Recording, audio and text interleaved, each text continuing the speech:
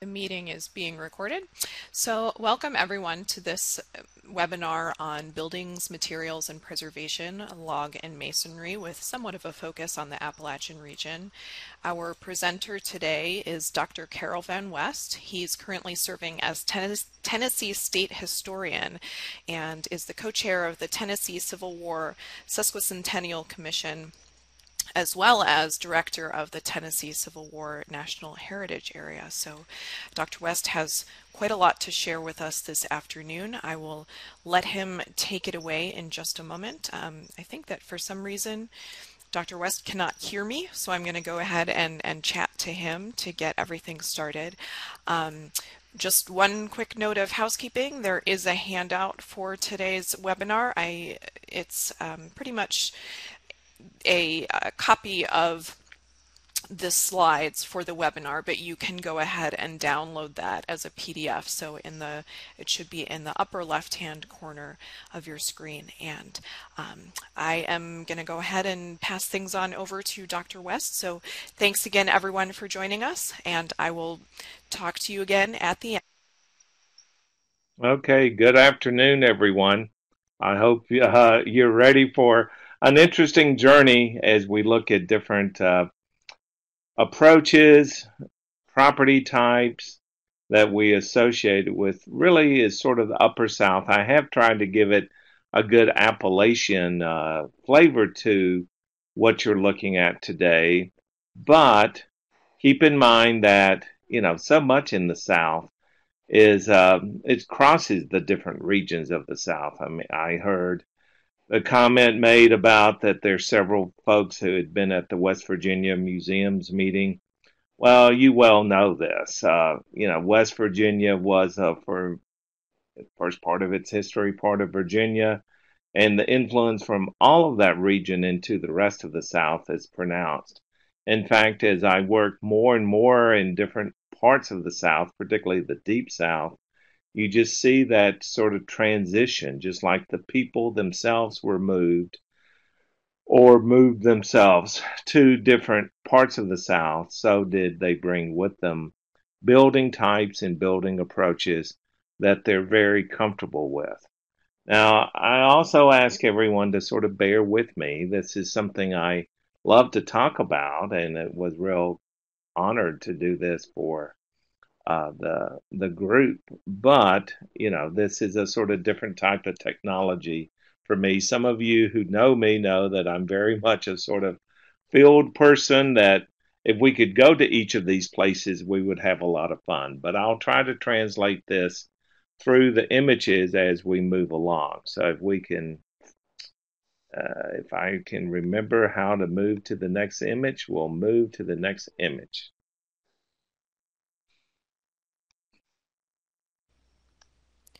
So it should okay. work just by clicking I, the right. Got ah, got it. I had to I had to find it just for a second. Sorry. So let's just start with some basics of the Southern building traditions. And again, you know, this the the phrase "the South" is always problematic, isn't it? Because what you have going on on the coast, say in the Chesapeake or in the Low Country, is really different than what's going on in Appalachia or the Mid South or the upper south or then the Mississippi Valley. But I do see some things that are really common and I think just good rules to keep in mind. That so many of these buildings from the early period, you know, they're relying on visual and oral traditions. It's what they remembered seeing in their homelands or maybe in their first settlement areas or places that they perhaps traveled to or visited. And builders are not drawing plans for a lot of these buildings that we'll look at today. They're learning as apprentices, as uh, carpenters, who then decide to build buildings. So it's very much a visual, visual and oral tradition that's passed down. But because of that, I think there's also some continuity in a lot of these forms. Um, I mean, a, a central hall house is a central hall house, no matter where it is in the South. Now, one thing that does, of course, affect is the climate and, and geography. we do have these different reasons, regions. I know I've been working recently with the Museum of Early Southern Decorative Arts in North Carolina, and for years they carried on their seminars that there were three distinct regions of the South. Well, I think now they have accepted there might be like six or seven, and there could be even more. And southern climate varies tremendously from the low country regions and into Florida than what you have into the Appalachian regions. And then again, the Mississippi Valley is a, uh, something that is a more Midwestern climate on the upper end of the valley. And then down in um, Louisiana, it's very much again the coastal climate of that region. But wherever you are in the South, you're going to have this interplay between culture and function, between what people bring with them, their own perceptions of what makes a good house, their own needs as far as making a class statement, their own ability to shape their environment. Because, again, before 1865, you've got a situation where a large segment of the southern population doesn't have a lot of power about where they live or what they do. And, and enslaved people brought traditions with them that sometimes they could replicate and then sometimes not. Function is one of those things that to me drives a lot of what we see as well, in that, hey, we're in a place that has a lot of timber. We know what we brought perhaps from southwest Pennsylvania. And we're looking at this log tradition and there's someone who knows how to do these log houses. And we can sort of build as our income grows and our family grows and you see a lot of almost building block houses as i like to talk about them places that began as one thing and they become something else so when you think about all of these different factors put together it's a real interesting mix, and we can talk about certain Southern types, but boy, there's always variations, and in some ways, it's the variations that make it all worthwhile. So I'm going to start before I get into conservation, much like I try to always talk to any student group or just community group. You know, first know your property type, know sort of what you're dealing with in this architectural and historical context, and then try to find out as much as you can before you even get to the role of how do we take our first steps towards preservation. So let's look at the single pen cabin.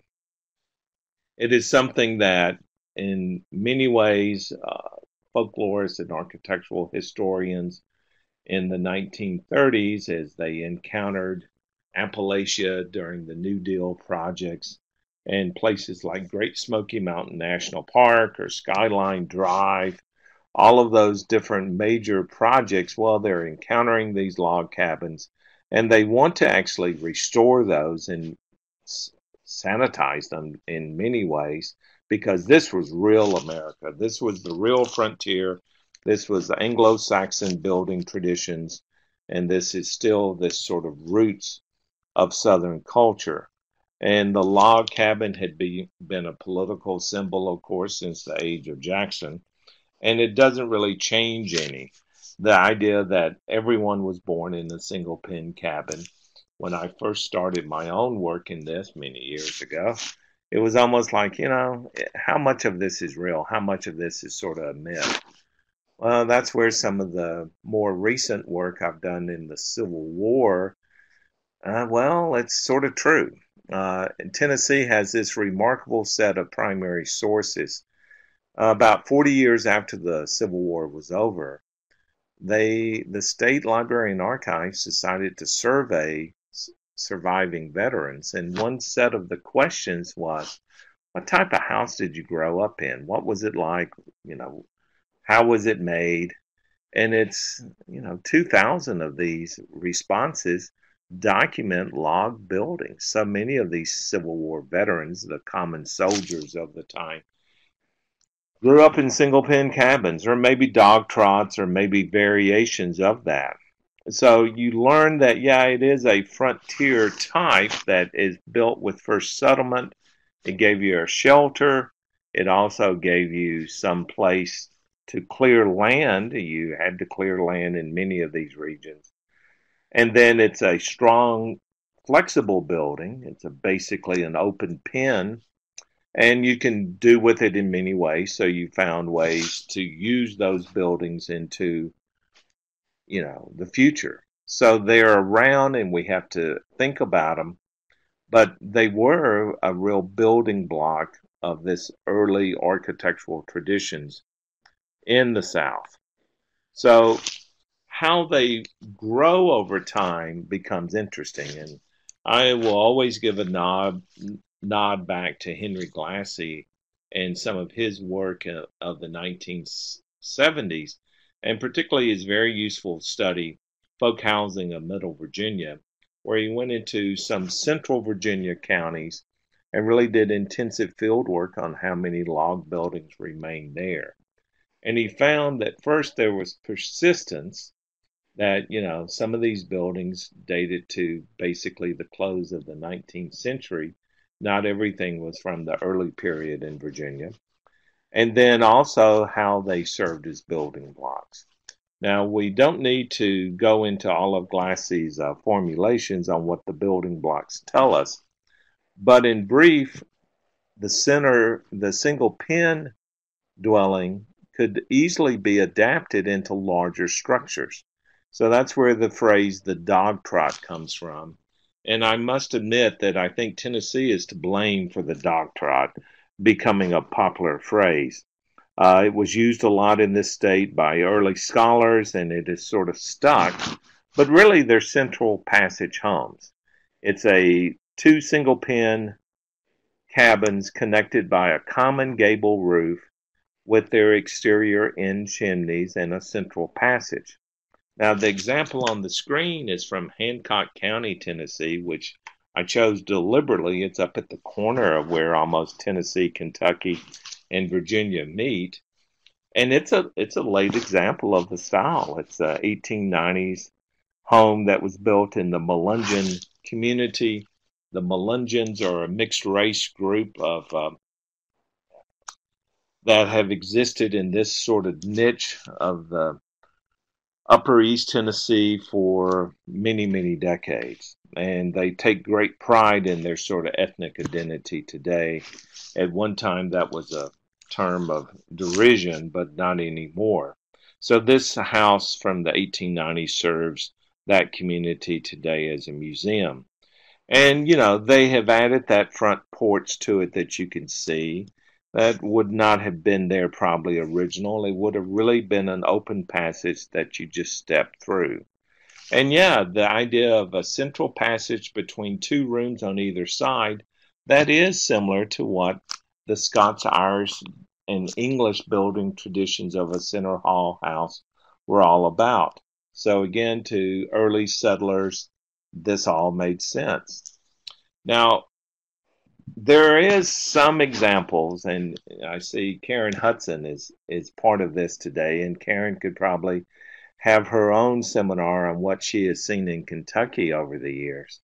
Um, I know in Tennessee, I have been able to document a few homes that started as a single pen house and added first the dog trot form and then added rooms on top of the first floor rooms, and you end up with the two story center hall house. And one of those is the Houston house there on the left side of your screen. Uh, the Houston house began with that room in the sort of bottom right corner as a single pen cabin. It the house then expanded to a dog trot at the time of the Trail of Tears, the Cherokee removal in the late 1830s. And that gives us our first real sense of documentation of the house at that time. And then by the time of the Civil War, the second floor had been added. And then the portico that you see, the two story um, front porch with the classical columns, that comes from the colonial revival period of the early 20th century. So this is a, a real house that has evolved in building block style over a hundred years. And it's important in this community today because this community is a rural place. It's had one U.S. congressman in its history, and this is where this guy lived. So it was sort of the grand house of the early 20th century that began as a log cabin.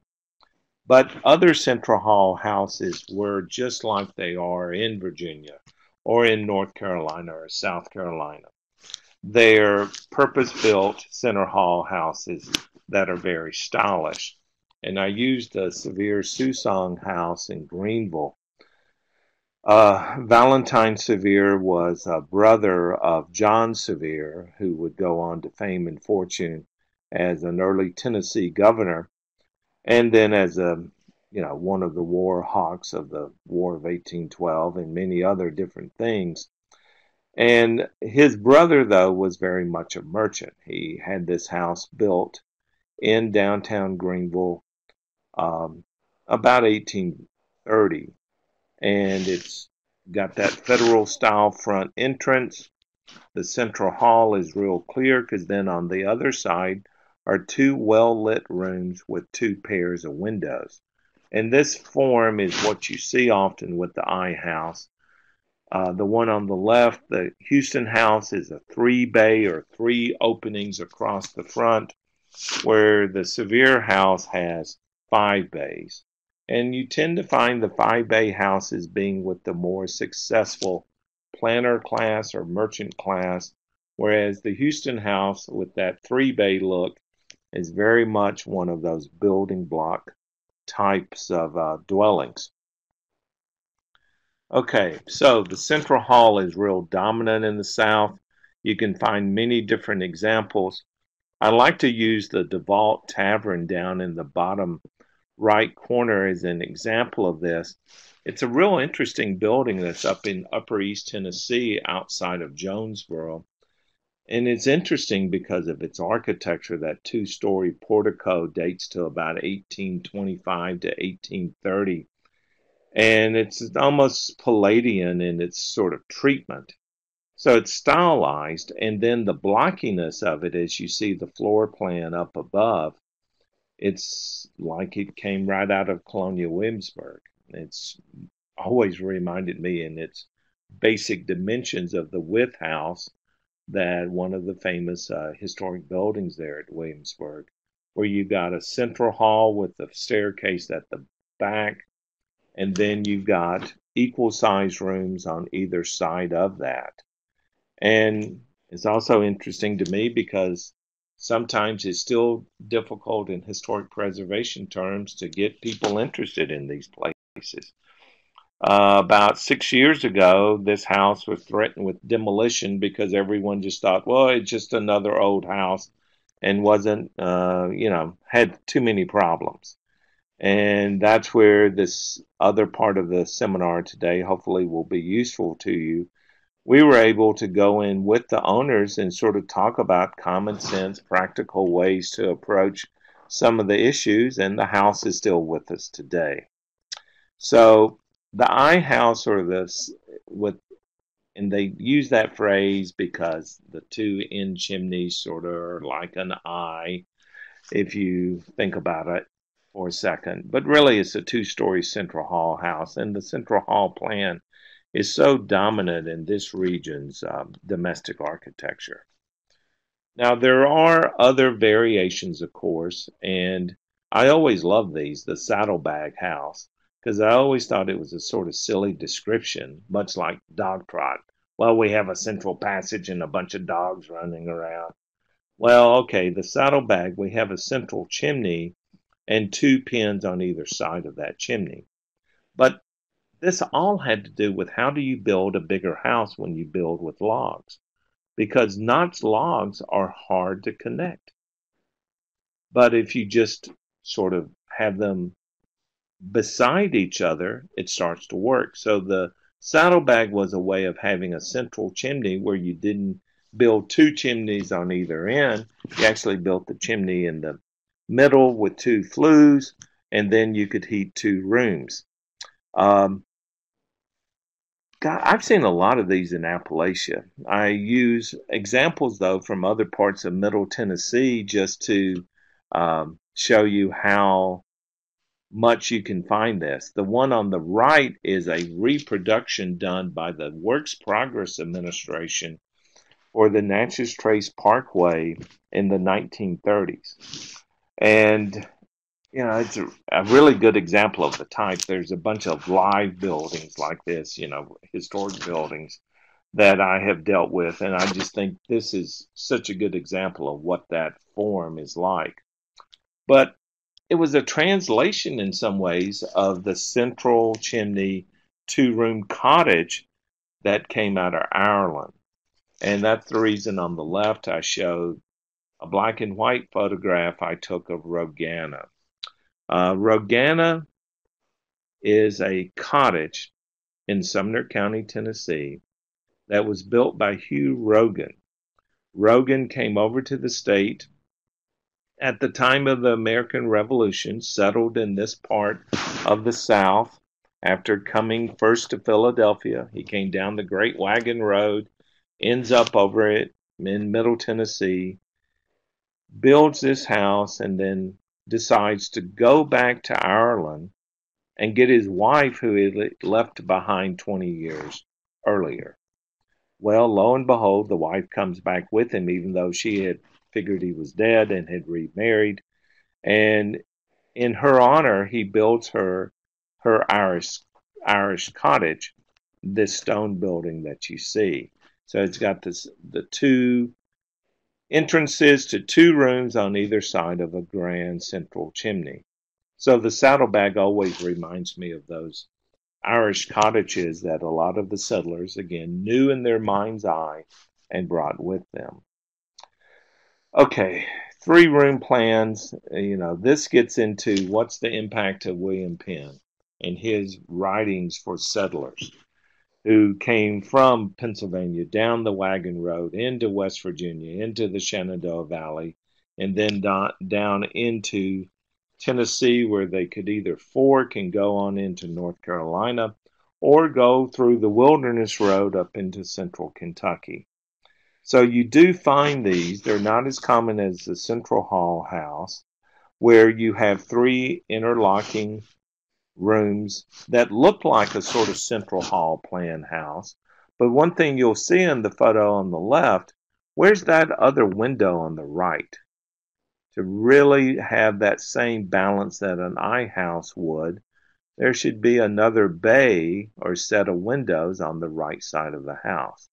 And when you see that sort of asymmetrical look to a house, uh, it might not be a three room plan, but it well might be a three room plan. Now, some of my friends in the field like to talk about how this is a German derived plan of a central chimney that is then used in different ways. Okay, I've seen some of that and I've seen examples of that, particularly in the Shenandoah Valley of Virginia. But um, I'm not convinced. I, I think this house form needs more study and um, the Landon Carter House in Elizabethton, which is a 1780s house, would be a real good place to start. But guys, I have tried to work on a grad student for 30 years to take on this property as a master's thesis and haven't won yet. So maybe sometime soon, but not quite. So here's some other examples of that type. Uh, Fort Stover in Page County, Virginia in the uh, sort of upper Shenandoah has been demolished. Uh, that was a real loss. That was a great example of this type. Set on a hillside so you could have a sort of full basement. And to show you an example of that from Appalachia, here is uh, the Ernest Fort, as it was called, the Fort House. But it was really just the dwelling of Peter Ernst, who anglicized his name to uh, Peter Ernest, and lived in this farmhouse along the Nolichucky River near the North Carolina border. And you can see in the image on the right the uh, how it's built into a hillside to get that basement, which usually served as a kitchen space for the house. and then the rest of the house is on top of that real heavy basement. So they're there. They're very interesting. I know that I really have never come to grips with this house type myself, but boy, I enjoyed the Ernest House. I've taken many people there. It is the oldest Tennessee Century farm in existence. It was uh, started in 1777 and on the other side of the river, when the family expanded their land holdings, they built a center hall two story I house. So it's almost like a little architectural lab when you go up to this part of Greene County, Tennessee. Now, I would be remiss if I didn't say something about some of the Victorian forms that you can find not just through the South, but actually through large parts of the country after the Civil War. Uh, the gable front and wing house on the left is very much the gable front serves as a wing to what is often a center hall house. And then the two story version of this, and I show, I use the different images to show how the gable end can be on either end of the house. Well, sometimes those are called upright and wing. You'll see that phrase used by people and in different books. I still like to sort of call these just two story gable front and wing houses.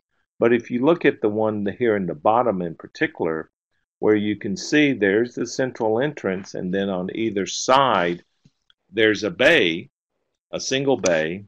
You know, this isn't far removed from that Houston house that we looked at a few minutes ago. Now, also, I needed to say I felt something about shotgun houses, which are always viewed as an African American form. And John uh, Michael Vlach, many years ago, traced their West African and Caribbean influences.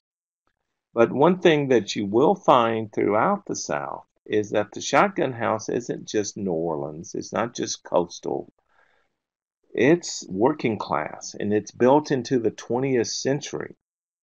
And it could serve as housing for both whites or blacks. Uh, one of the more interesting sets of bungalows I have ever seen were built in Beaumont, Texas in the 1940s. Um, typically, they're frame, you know, they're just three interconnected rooms. There's no hallway. You walk through that front door there behind that man sitting on his porch, and you walk from one room to the next to the next, and then you're out the back door. So they're working class housing, and you find this throughout the South. Um, it's just in New Orleans they really sort of celebrate them. In the rest of the South, we I think ignore them, except perhaps in Tupelo, Mississippi, where Elvis was born in a shotgun. And I tell you guys that this just proves that you can never talk about Southern history without having uh, a uh, reference to Elvis. That just goes with the territory, right? Um, okay, now let me now switch into thinking about how do we preserve these places. And I I'm sort of old school. And I go back to Harley McKee's thinking on this whole issue many, many years ago. He wrote a very influential book about restoring historic buildings. But I think, even though he was writing in the days before modern technology and um, you know not the day that we've not what we can do today when we analyze buildings. Still think he has it right. That a building is a system where everything is sort of interrelated. And you do have to understand the the qualities the characteristics of these different materials and the, their function within the building and the function in within the living space. But you always need to sort of think of the whole thing. I think sometimes in conservation we get so t- caught up in our own specialized knowledge, we sometimes don't communicate with our peers, and what solves one problem ends up causing a problem somewhere else. And we have encountered so many instances of this throughout the years. I just feel like you always have to tell people that. And particularly important things like foundations and roofs.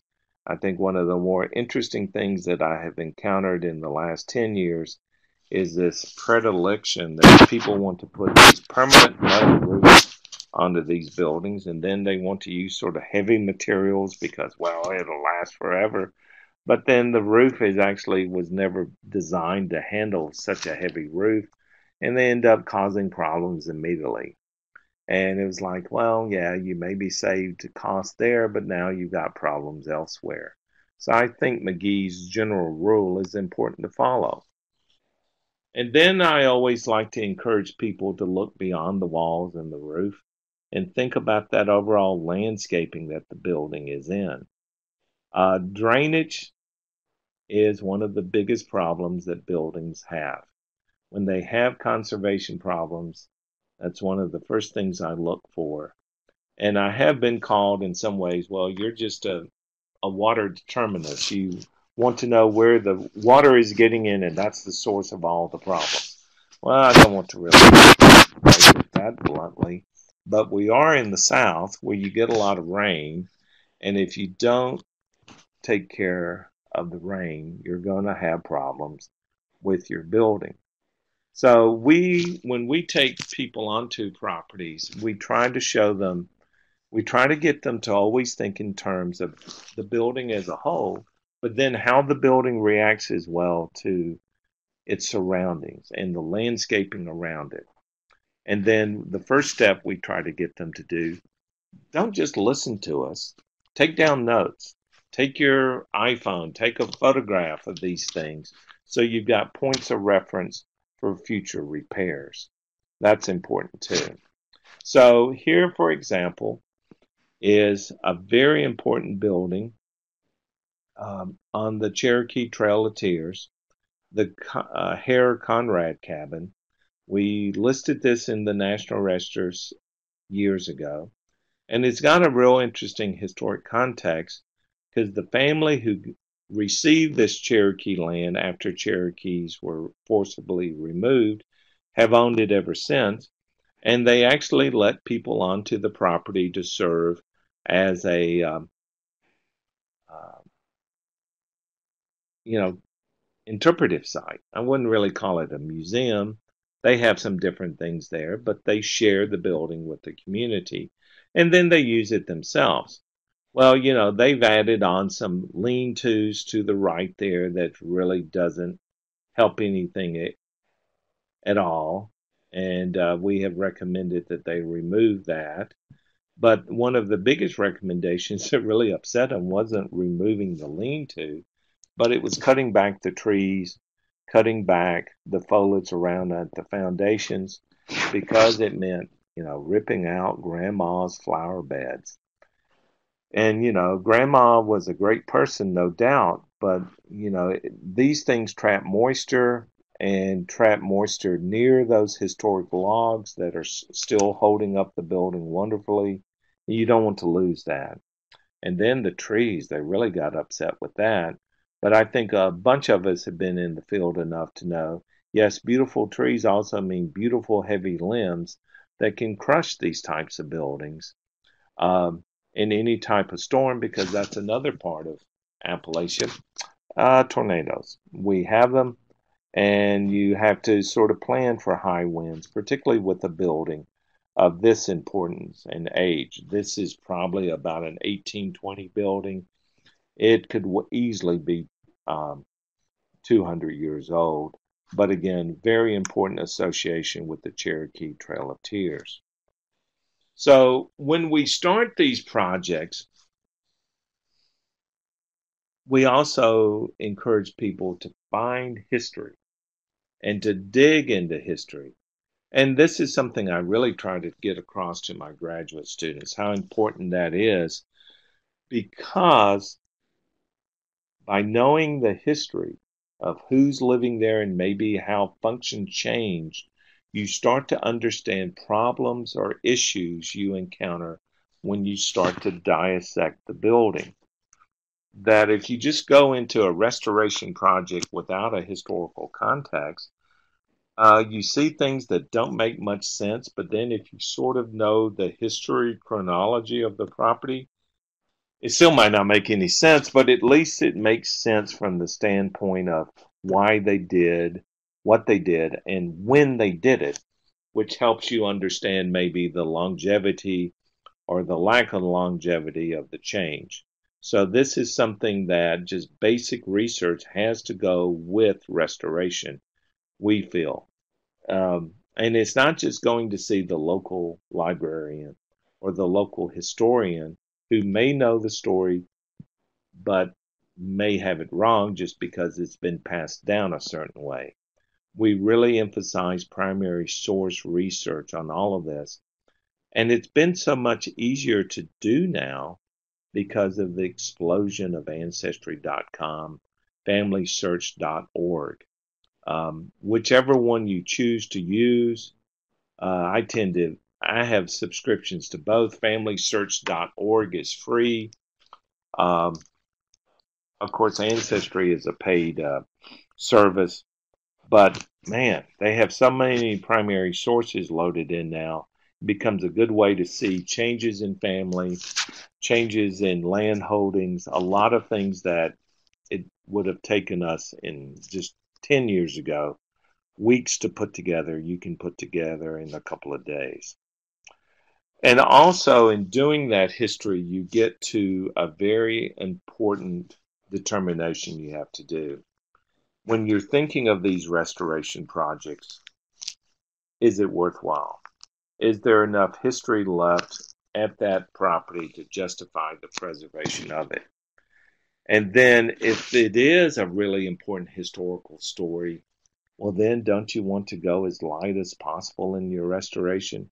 You don't want the restoration to take away the layers of history of where those events or people from that time in the past actually touched that building and shaped it.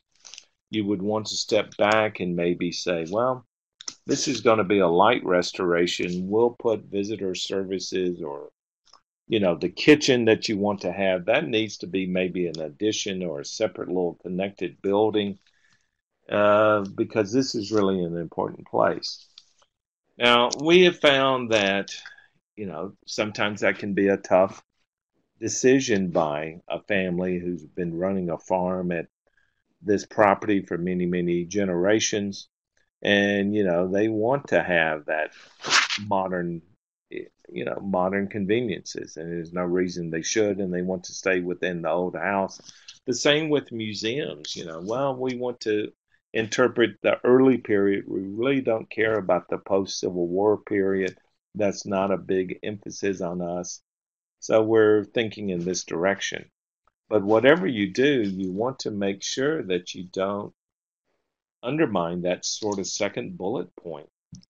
That when, if you could put yourself in the footsteps of those of the past, and they came back to that property in, say, 1840, would they still feel it? Would they feel history there? Is that feeling of history, that setting, the building materials themselves, is there something there that really conveys the past? Or is it all just an interpretive platform? If it's an interpretive platform, to my mind, I come to bullet point four. You really have damaged, if not destroyed, what made the building historic, and you do have nothing but a museum exhibit. So, as an example, and I hate to jump on friends down in uh, North Georgia, but this is the this is a good example of that. This was a building that people were very excited as they started a restoration of an old triple gable front two story hotel they found on the right side a two story log building.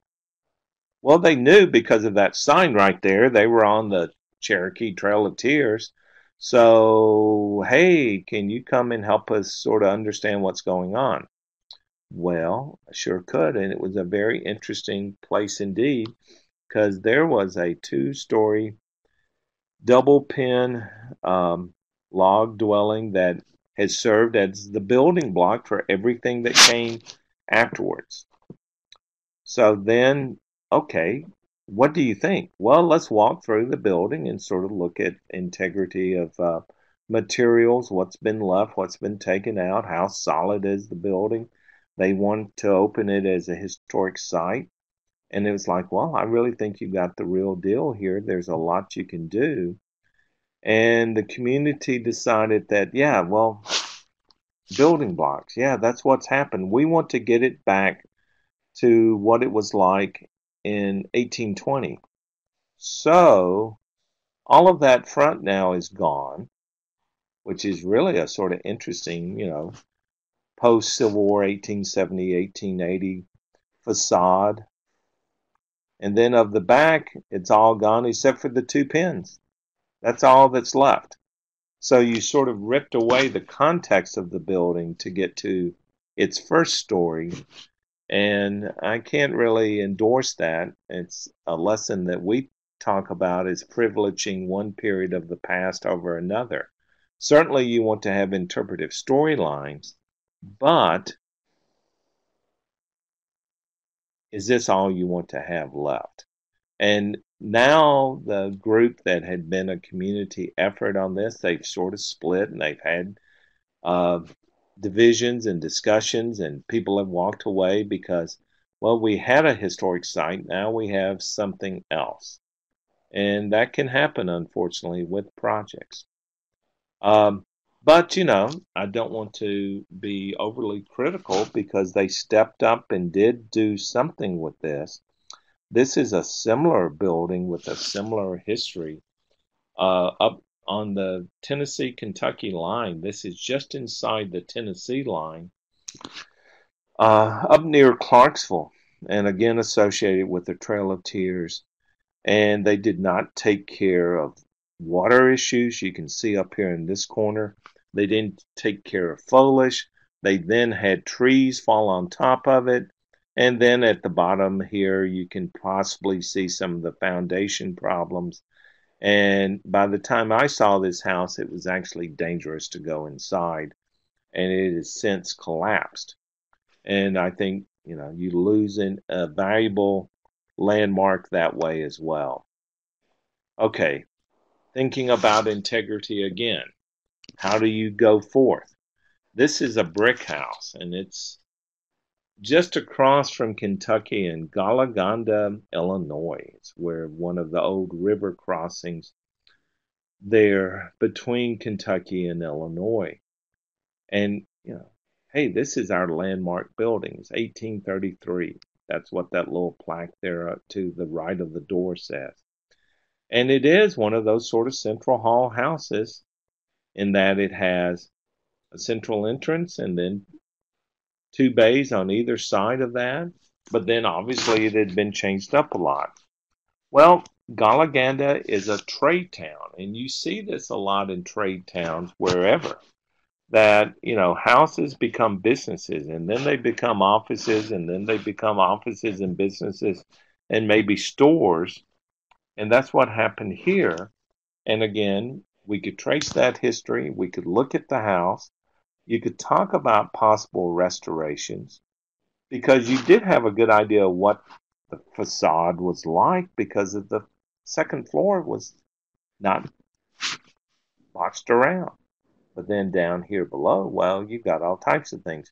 You have single pane windows replacing double pane, I mean, uh, double hung, and then you've got a doorway replacing a window. And then over here on the left, you've got a storefront and a door replacing two windows. So, you know, sort of fun things. But we're open to these types of things. We understand buildings change over time and will morph, and in this type of context, it makes sense. So we started looking around and seeing other changes. And then this is this whole thing of, you know, setting. And then there was this in the back. Well, this is a whole different creature here. And um, I don't know if I've seen so many different types of roof lines going in different directions on a building in some time. I did sort of enjoy that about it. But then it got to be, well, you've got some, you know, big decisions to make. How do you want to treat these different periods? Are they important? What do you want to do with this building? And I would say right now that's not decided, sort of being discussed because there's big decisions to make. But yeah, the building's lost a lot of integrity, has lost a lot of what made it historic.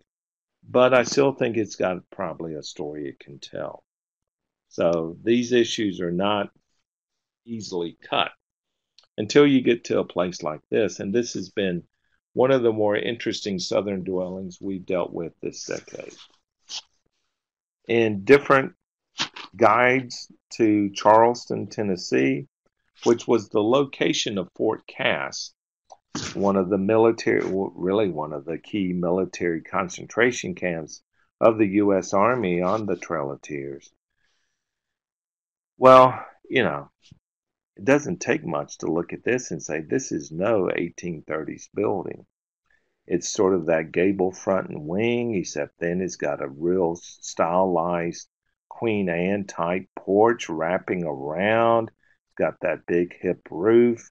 Does seem to have a lot of integrity to the windows and the bays and the entrances, but this isn't of the 1830s. This is from a later period.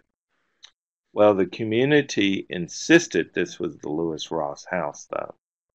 And what did we have to turn to? Because we weren't going to win that argument. This was the Lewis Ross house. Lewis Ross was the brother of John Ross, the chief of the Cherokee Nation. Okay, so we go deep into the research and we find out that it's not, it's the location of the Lewis Ross house and a bit of the foundation. But of course, a later building was built on top. An even more extreme example of this is at the Chieftains Museum or the Major Ridge House in Rome, Georgia. Now, that house obviously, too, did not exist in 1830. And in 1835, when Major Ridge signed the Treaty of New Echota, which put him into the pantheon of infamy among the Cherokee Nation, but in this case, the room here, sort of right behind the tree, was the log pen that Major Ridge lived in at the time of the treaty signing at New Echota. Then a uh, Italian rayon company bought the site, transformed that cabin into this colonial revival house in the 1920s, and uh, that's what you had today. So, what was interesting in talking with folks here, and this is still unresolved too. I mean, you got this sort of actually quite nicely done 1920s house that has this association with the rayon plant that's very important in this community's history.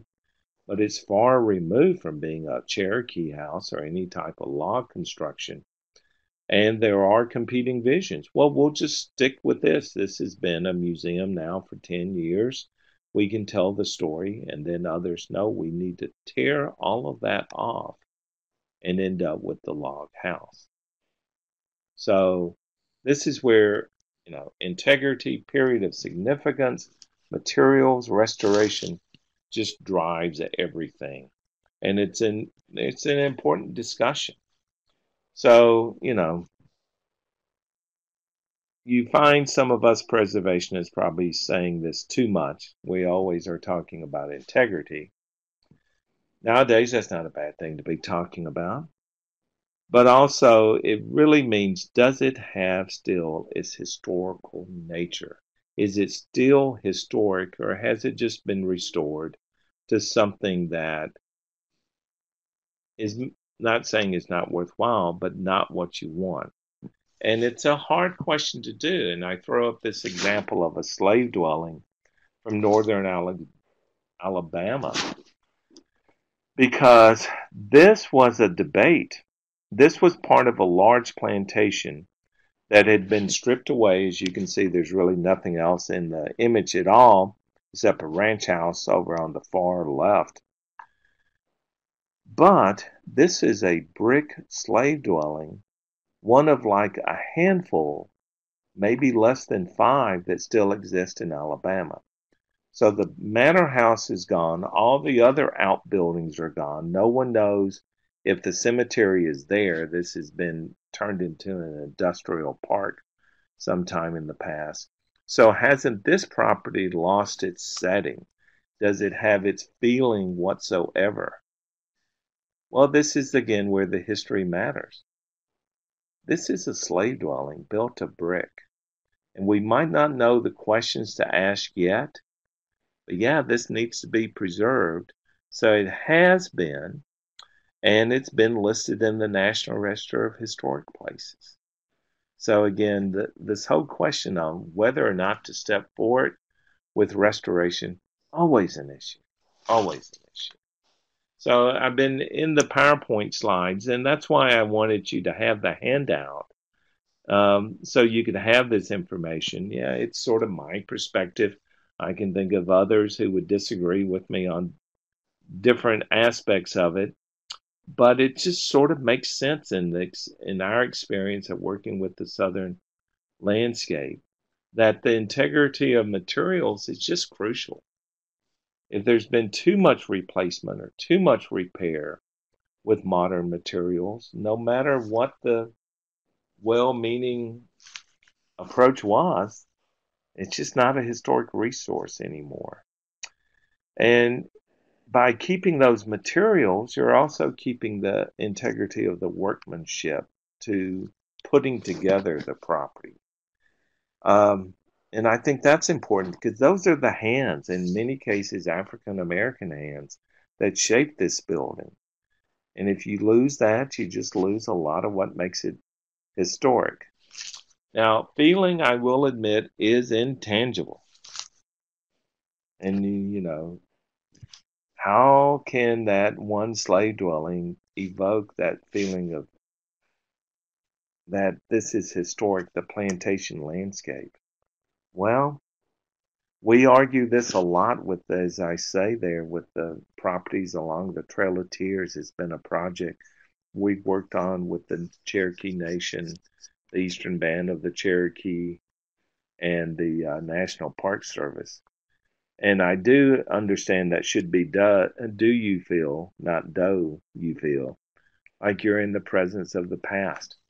And on, at least on those properties, we actually let the Cherokees give us great guidance on that. What they feel as historic. I think you have to pay attention to it. So that's where, in a lot of this, too, we've ended up sort of going the way of community involvement and trying to get their understanding and their assessment of where it's valuable to them. So, you end up with properties like this in North Carolina. Um, the group had asked me to put together to give it an Appalachian focus. Well, I think as you can see from the setting here, you can't get much more Appalachian than this. It was a dog trot. It's been filled in at some point in the 20th century. You can see the planks just sort of laid across, nailed to the logs, and then with a double hung window in the middle. It still had its separate entrances on either pen, and it still had its separate exterior in chimneys. And this overlooks the North Carolina mountains. Great debate that we've had with different folks about whether or not the date of this building, but obviously it's important. And the heirs of the property wanted to know should they even care? Because you can also see some of the foundation rot that is set in, that basically logs are on the ground, stuff was grown up all around it, and it probably looked much worse than it does here because they had just cleared this out for us to come in and sort of go over the property with them. So I'm ready to jump into log building preservation basics. Okay, there's these different questions, different issues, different contexts.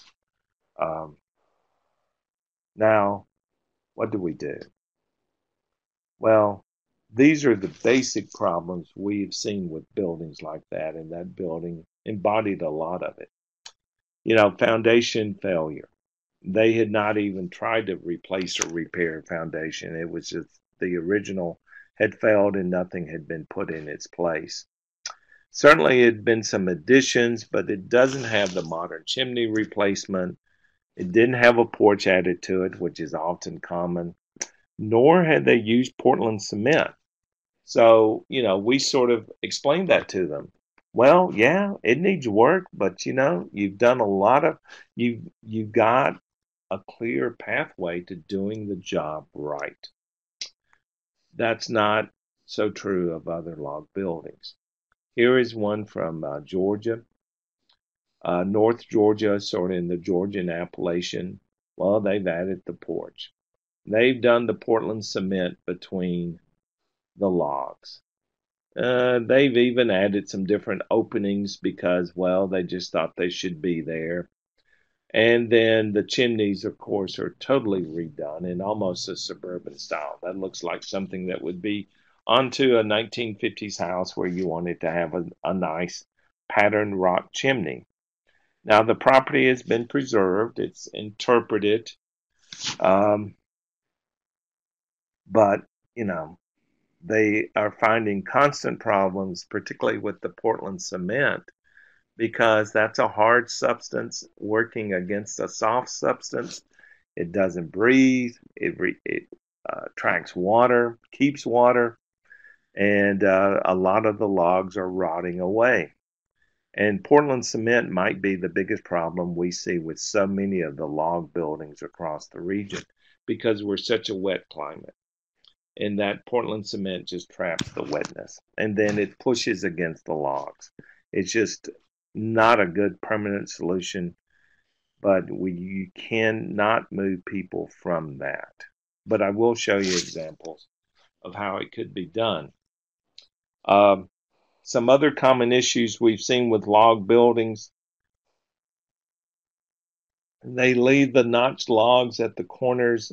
They extend past the roof line. So they're exposed to rain and runoff, and the notched logs at the corners start to deteriorate, and then that means the joint itself starts to deteriorate, and the building is is is made much less stable. Again, I've already hit the point heavy on flower beds and foliage near the building, and then foundations too close to the ground, leading to contact contact with the ground, or really the building can't breathe adequately and water is sort of trapped there. And then the additions. This is like that first example I showed you with the lean to. The big problem with that wasn't that it was a lean to, it was trapping water against the logs of that one wall. So again, deterioration sets in. So this is what this can look like. If notches are exposed, they start to deteriorate at the ends, as you can see, they come apart and then suddenly the whole notch comes apart and the foundation is destabilized.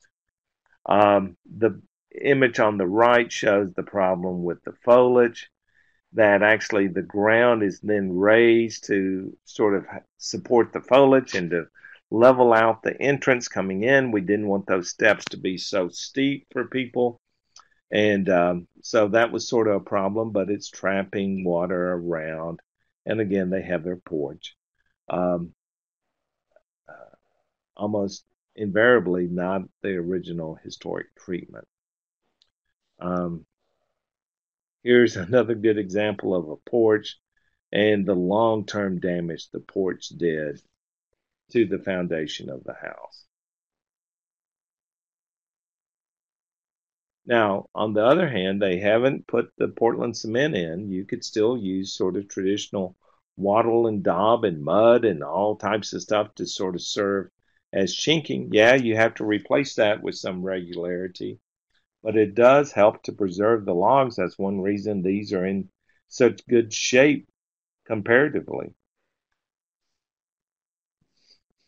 But then you can also see the problems with new windows added in. And I mean, this just sort of comes with the territory as people adapt houses.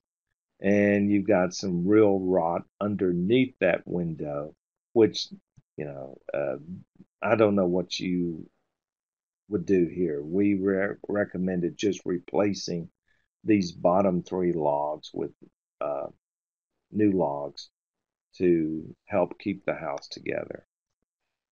Uh, another issue is that sometimes you get people not realizing, besides the thing about foliage near the house, is okay, we wanted to preserve this log cabin. It's important to us. You don't place it right next to the live railroad tracks because of just the vibration of heavy freight moving through all the time. This house wasn't built in that context, wasn't designed to handle constant movement and vibration. And, you know, sometimes you wonder because the community was like, well, we never thought about that. And I just thought, how do you not think about being next to a log railroad track when you don't have to do that? So, you know, it's just interesting these different issues that you can encounter. And what I did like about this house, though, it still had the, it, they put it on stone piers. And, you know, so many people want to close these off. Well, we don't want stuff running around that leads to deterioration. No, actually, it doesn't. They did the stone piers because that lets the logs breathe and uh, thing and moisture and other stuff doesn't get trapped underneath the house. So you know they got got it partially right. Just wish it wasn't right next to the railroad tracks. Okay, now let me move quickly here because I can see I'm on sort of my last third of my time, and that's repairing damaged logs. Okay. Well, it does all depend. Um, but we tend to always tell people, well, use a consolidant and the right epoxy treatment, particularly since you've already sort of botched it up with the Portland cement here in this image from a building in the town I'm sitting in right here from Murfreesboro, Tennessee, where they have done this. And um, because you sort of need both. You need something to give the log substance and to keep it from collapsing. And you also need something that keeps it bound together. And by using both of these, you can extend the life of the log, but at the same time, it's not really a log building anymore. It's almost like, uh, you know, a plastic and log building. So, what we have tended to encourage people to use that is effective but not too expensive is WoodEpox or a similar type product. Uh, we've just ended up, uh, we've tried WoodEpox on different situations and sort of tested that for 10 years now. And I'm, I'm okay with the longer term results, at least 10 years results. You people can get this. They can get it and they can apply it themselves. And if they actually mix it some with some pigment or some sawdust, it'll look better with the look of the log and the repair is not so jarring. Um, so, yeah, this is not what you want to do if you've got a building that doesn't have these issues. But if you do, you're going to have to go in this direction. Now, as a good example, Let's look at this building from Shiloh National Military Park. Uh, the National Park Service has owned this ever since they acquired the land for Shiloh Park in the 1890s. It was a dwelling of someone who was working the land during the battle, and this is in one of the more heated parts of the battlefield, the Peach Orchard area, near the Bloody Pond. If you know any of the history of Shiloh I've just remarked on two famous landmarks. So everyone knows it's important. It sort of gets at the middle class farmer of uh, western Tennessee down near the Mississippi, northern Mississippi border and what they lived in. And certainly, you know, it's had its repairs. The roof has been redone. But what they never did was to use any type of Portland cement. They're still using traditional chinking. Those logs are in great shape. They keep them off the ground with their foundation. It stays open. It's it's just a great building. I just wish the National Park Service would interpret the story of a farmhouse that survives the battle and still there today and what that means what did the Civil War mean to farmers? You know, it was um, that's a big story in my mind. But the building is still there, and it can tell that story in the future. Okay, so that's what I want to say about logs, and what I want to move to in the last part of this is just masonry restoration and also start to sum up some of the stuff I've been throwing at you because I realize in 90 minutes I'm covering a lot of ground. And I see in my work three golden rules.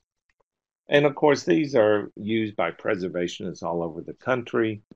And uh, I think they're still good guideposts, although, you know, just like most of this stuff, I can think of two or three people that would have a lively debate with me. You know, preserve rather than repair and regular maintenance is so important. God, we we talk about that all the time. And sites feel that they're under the gun. They have so many different demands on them. Deferred maintenance is always maybe the best option. Uh, no, it's not, particularly if you're dealing with a log building. Because the more you repair, the more you lose that historic quality of the building. Now, when you do have to repair, you want you want to do that. You don't want to replace with reproductions or new materials. You want to repair. Uh, because again, it sort of keeps some of that workmanship and that original historic character in place. But, you know, if you have to replace, well, do it right. Use the, try to use you know, if it's log, a similar log. Although I know yellow poplar that was used so much in the South is hard to get a hold of, but you don't have to use cedar. You can use something that maybe is a better match for that. And you want to get somebody hand hewing your logs if that's how they were done. Because just that feel to the log of when it's been hand hewn instead of machine cut is telling and it helps to convey the story. So, you know, we realize sometimes you do have to replace, but you want to be careful when you do it, and you want to do it right. Okay, masonry. This is something that well, I, I feel what I'm saying about masonry is just you can find throughout the country. Um, the biggest mistake, and, and you think, and some of you guys at preservation, oh, no one says that anymore. We run into this every year. Well, can't we just, you know, use abrasive cleaning techniques? We're going to use a power hose on this, and we're going to do this. We still hear sandblasting as, don't you think that's the way to do this? And of course, what all of that abrasive cleaning techniques does is to wipe off the original sort of veneer, the sub, the surface of the material, and that lets water in. It is so dangerous in our part of the world because of our climate, and this is what causes most problems with masonry buildings that we see. Um, because I tell you, when you work in buildings from 1820 to 1860 in particular, in in my part of the South, you come away so impressed with the craftsmanship abilities of the African American slaves. These brick buildings are well built. They're almost sometimes overbuilt. They're solid. And if you don't muck them up, they're going to be there for a long time not this building here, this is in Georgia, but a similar style building. In Tennessee, it almost burned down, and the fire marshal, this was in Nashville, said to me, he says, Wow, you know, this thing was going, and then it hit the back brick wall. It was the L addition that burned down, it was built later. It hit this back, brick wall, and it just sort of couldn't penetrate that. Why would that be? It's like, because they'd had African Americans who built this house. We actually know some of the names. They were good builders. They built this thing solid. So masonry is something that can be with us for a long time if we just don't make bad choices. So it usually comes up with cleaning. Well, you know, it doesn't look good. This is an 1850s brick wall, which they were concerned about. And of course, it was moisture issues that they wouldn't address had led to these problems. Well, if you want to clean it, first test it on a part that maybe is not so much public, but just a small part of it. Because you want to see if it does actually clean it, and then does it cause any problems. That's the first thing to keep in mind. Don't treat it all at the same time. Test it. See what works because different, mean, bricks are just made of all different types of materials and composition. So sometimes you sort of have to experiment to figure it out. And you certainly want to be gentle when you do this. Now, I do get criticized by contractors, and they're rightful, they're right to do it in that, well, Dr. West, we don't have all of the legions of graduate students and stuff that you can put to a building and they sit there and just wash it by hand. Well, this is true, but you're also being paid real big money to do your projects, and we're not and it still is the best way to do it. Um, you know, throw away your Brillo pads. Don't use those. Use some, you know, good old just hand labor. Uh, it won't get everything out. But then the big thing is you're not going to damage the surface. And that, to me, is the biggest danger, not having it pristine looking but damaging that surface. So again, we still will, I feel like I have to always say something about sandblasting because we still run into it and people who are at local historic sites are often being told it's okay. It, it's okay. We know how to do it, particularly when they do it in the wet abrasive cleaning. See, we're just not going to blast it with air we're using it with water. Well, you know, it's just not appropriate, whatever type of blasting it is. So I threw in this slide so you can see those terms that contractors use. Sandblasting, you might well know, yeah, I don't want to do that. Well, bead blasting, wheel blasting, bristle blasting, oh, that all might be good because, you know, their water is really the cleaning agent and it's not, no, you're still using some type of abrasive material that you shoot onto the brick at a high rate of speed, it's going to damage it. It's just not a good step. And I feel the same about high pressure water cleaning. Now, you know, the, the contractors who clean houses, well, we use this on vinyl all the time. Well, you know, I don't really care what you use on vinyl, but the high pressure jets are too too strong. You just don't want to do it. And then whatever you do, you don't want to do it when it's cold. Now, sometimes we run into things. Hey, but we're selling this property, and we're going to have it look better, and we're doing it now. But you know, whenever you do this work, don't do it when it's cold because you know even if you do it right you're still in in introducing moist water to the surface. It can it can get into cracks. It freezes. It expands. It's not good.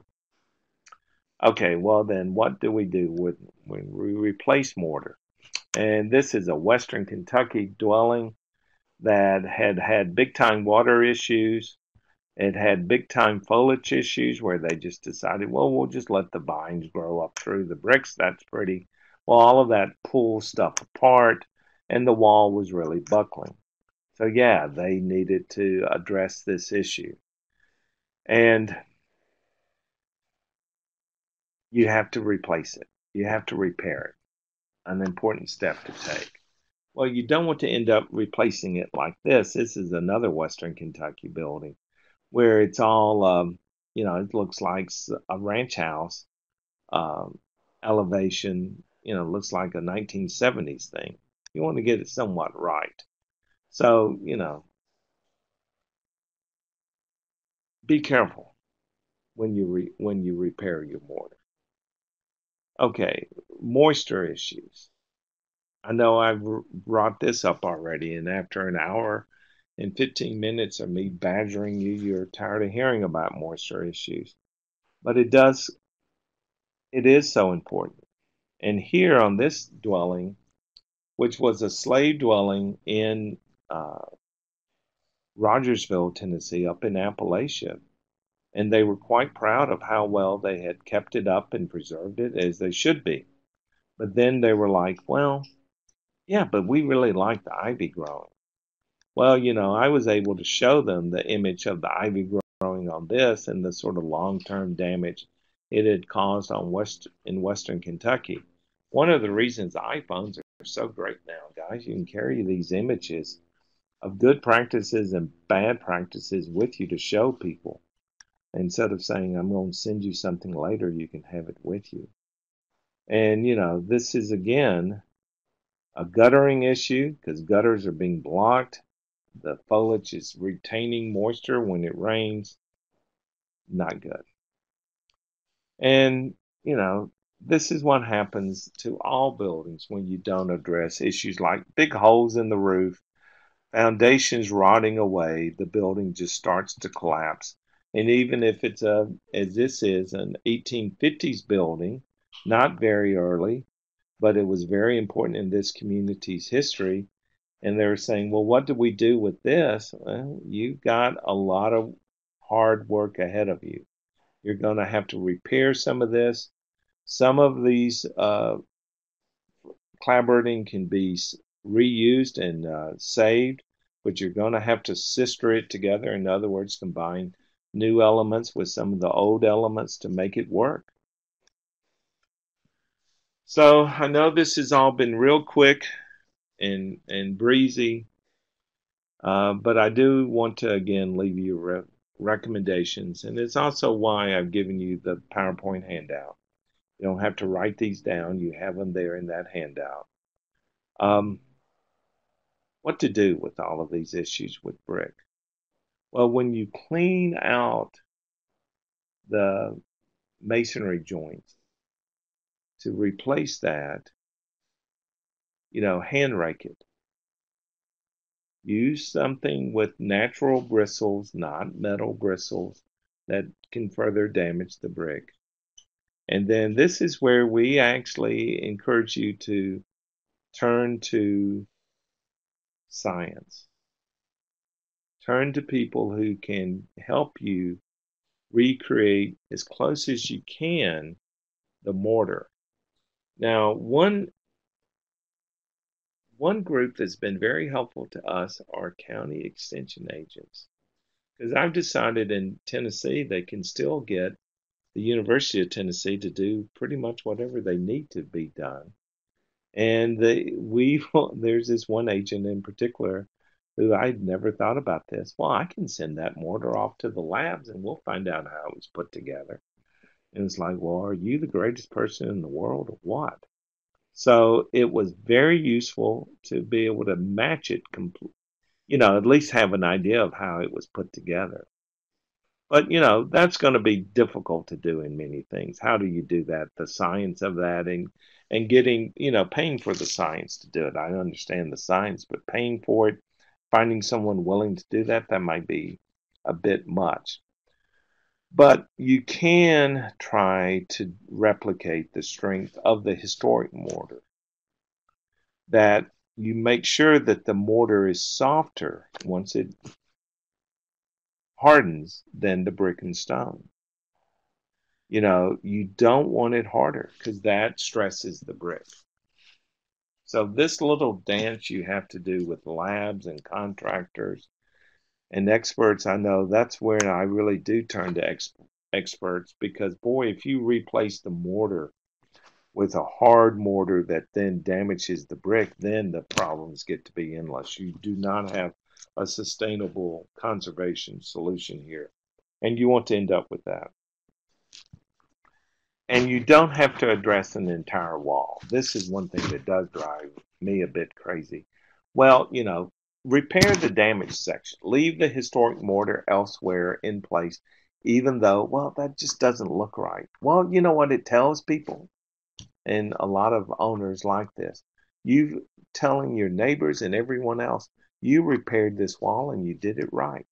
And you respected what came before you. Oh, well, yeah, that's sort of where I want to be.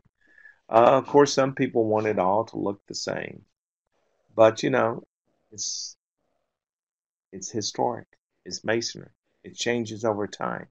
Change over time is not bad as long as you're taking it in an approach that is sustainable, that that building can be there for another 50 years, 100 years, or even more. I know a recent case that I had was uh, where people, you know, were showing me this issue. How stupid were they? They cut across the logs in this staircase here, which is sort of hanging. It wasn't even fully supported. And I said, well, yeah, but you know, it worked for 100 years. That's a 100 year uh, repair job. And then it was like, yeah, that's not so dumb after all. So, you know, be respectful of how past work was done in whatever restoration you're taking on. Because you see the problems constantly. You know, here, you know, with bricks deteriorating, in fact, bricks starting to disintegrate, the discoloring of bricks because of it. Clearly, moisture problems on this building here. So, you know, this issue of repointing the historic masonry is important. These are some of the rules I sort of throw out and just want to emphasize again, just like when you're cleaning it, don't do it when it's cold. And um, because you just won't get a good sort of read on the building. And nor do you want to do it when it's too hot because then the mortar dries too quickly. And again, you just don't get a good sort of match between the brick and the mortar. So, my last words, and I guess by now I've probably worn you out, but you know, don't use waterproofing. Still, people recommend it. I run into this well, we're going to waterproof this wall. No, you're not. It's just not good. Um, changes appearance because the chemical composition of those things don't usually match, accelerates deterioration.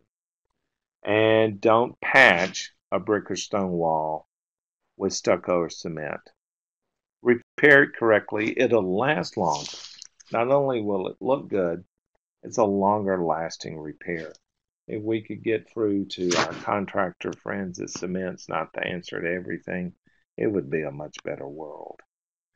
And it can be, guys. I mean, again, they've done a nice job with this house to a degree. There's still issues. That's why they brought us up. But, you know, here's a house that means a lot to this mountain community of Appalachia. It's beautiful piece of craftsmanship in a beautiful place. So that means I think the work that we do is worthwhile and it's fun doing it. So thank you for your attention. Um, I hope I haven't driven you totally crazy with this webinar today. Thank you so much. So we do have just a few minutes left, um, but if you have questions, if you want to go ahead and type them in the chat box, I'm sure that Dr. West will be happy to take questions.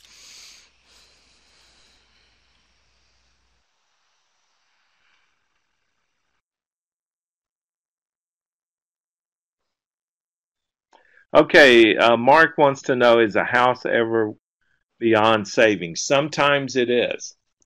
But then it that's where the historical judgment is. Boy, if it's really important to that community, um, I would say let's do it. And I have an example in tomorrow's webinar that is coming out of the Deep South.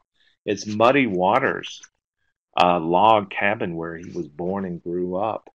And the decision was made in the 1990s. Well, you know, it was a log house. Three of the walls still were there, but the fourth one had collapsed. It's not worth saving. You know, I don't know. It was Muddy Waters' birthplace, and he was born in a log cabin in the 20th century. I would think maybe I take the plunge there.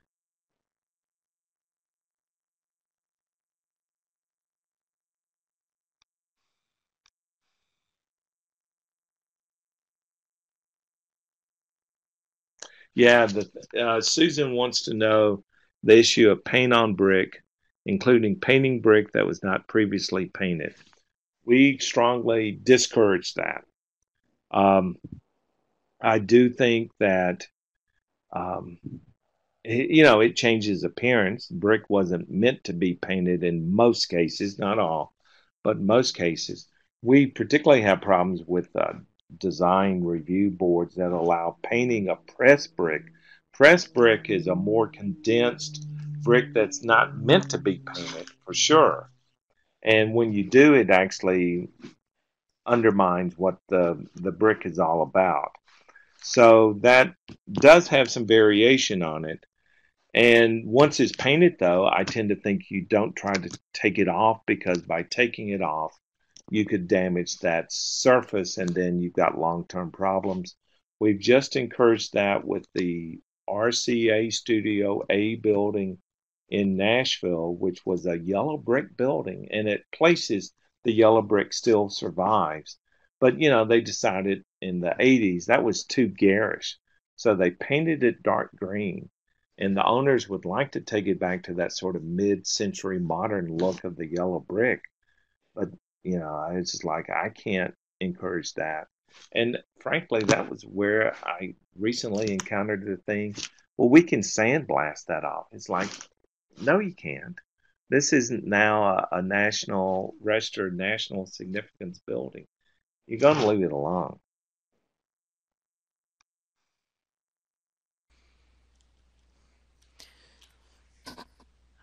All right, any other final questions, comments, or thoughts?